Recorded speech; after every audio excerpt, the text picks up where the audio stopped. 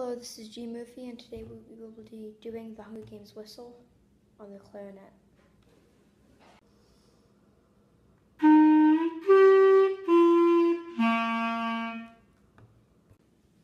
This is G Murphy. Thanks for watching.